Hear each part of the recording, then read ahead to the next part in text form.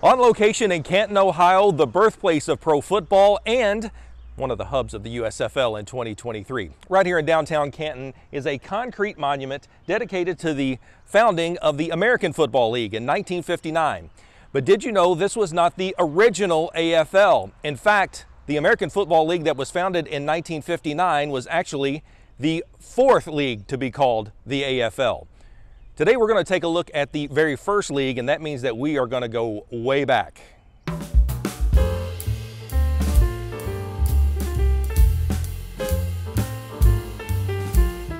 The first one dates all the way back to 1926 and has a connection to the NFL as well. The original AFL starts with this man, Red Grange. Grange was a star football player in the NFL in 1925 and helped legitimize the young league. His agent was C.C. Pyle, sometimes referred to as Cash and Carry Pyle. In December of 1925, Pyle asked the NFL to place a team in New York. Problem was, the New York Giants were already there.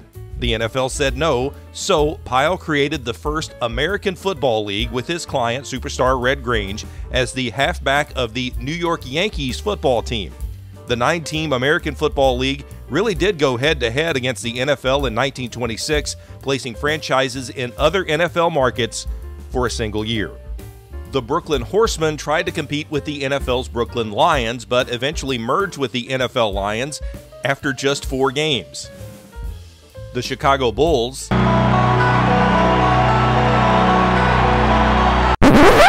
Not that one. This one. They signed a deal to play at Comiskey Park, where the NFL Cardinals played, and forced that NFL team to relocate to a smaller stadium. The Bulls were one of the few successful AFL teams because they were one of the four that was still playing at the end of the season.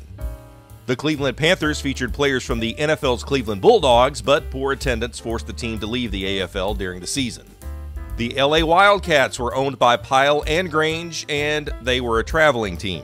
The Newark Bears folded during the season, playing their final game, a scoreless tie, in front of 400 fans, and for some reason, they changed their name to the Demons for that final game.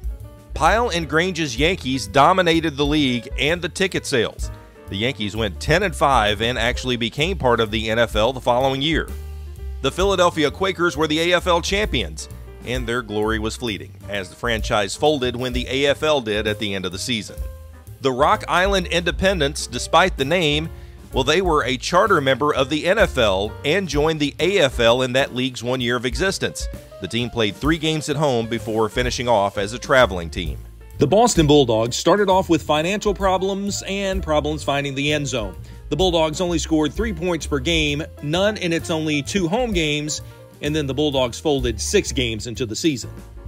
Finances were tough for both the AFL and the NFL. The battles for players and ticket sales forced the AFL to fold and the NFL to close shop on 11 of its 22 teams after the 1926 season. Two more American football leagues kicked off after that, one in 1936 and 1937, and then another in 1940 and 1941. But apparently, the fourth time was the charm as the AFL, the one that has the monument here in Canton, Ohio, it kicked off in 1960.